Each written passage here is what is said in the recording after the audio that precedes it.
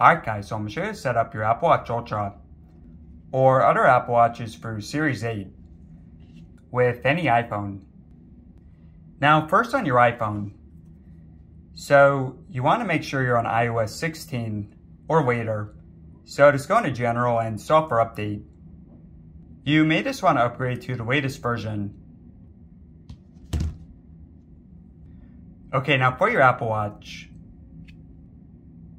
Right here we have the crown. And underneath that, we have the side button. So it's the same on the series.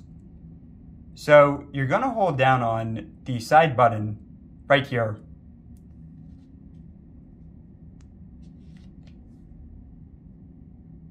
Until you see the apple. Now just wait a few seconds and you should see this message on your iPhone.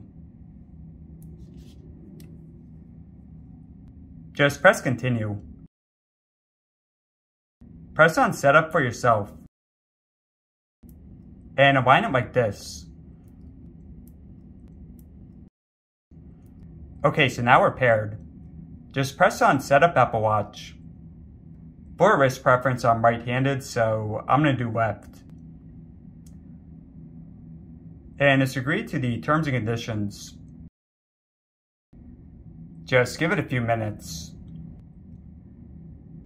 Now, if you want to share data with Apple, I'm just going to say don't share, but your call.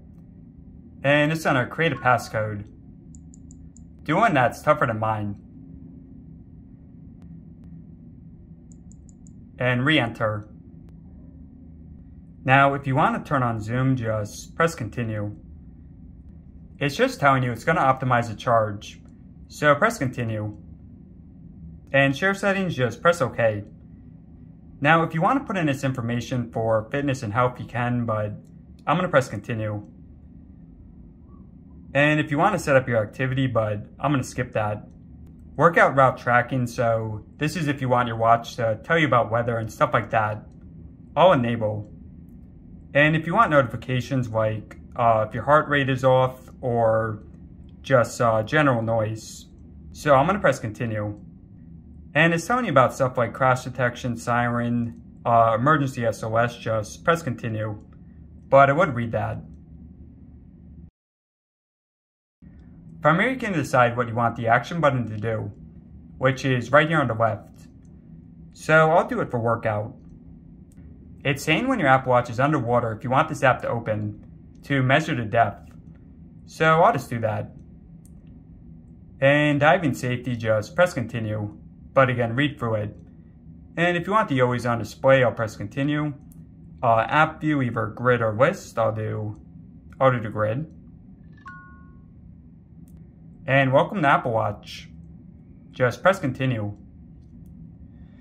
And hey guys, all there is to it. If you want more Apple Watch tutorials, then press in the top right. And yeah, hopefully this helped out.